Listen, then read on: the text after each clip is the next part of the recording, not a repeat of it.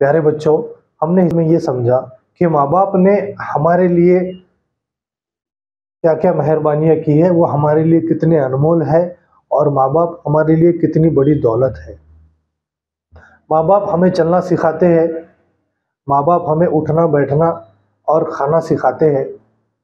माँ बाप ने हमें हर तरह की आसानियाँ दी है। अच्छे बुरे में पहचान हमें कौन कराता है? माँ बाप कराते हैं। और हमें सही रास्ता बताते हैं।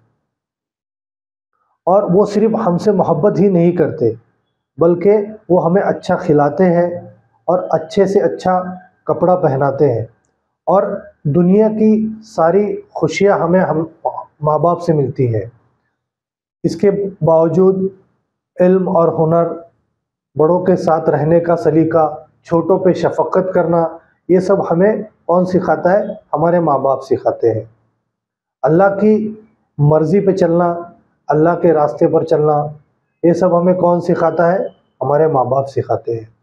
इस दुनिया में अगर हमसे कोई बे इंतहा और सच्ची मोहब्बत करता है तो वो सिर्फ़ और सिर्फ़ हमारे माँ बाप है। इसलिए बच्चों, हमें अपने माँ बाप से मोहब्बत करो, खिदमत करो और उनका एहतराम करो। यही हमारे लिए बेहतर है।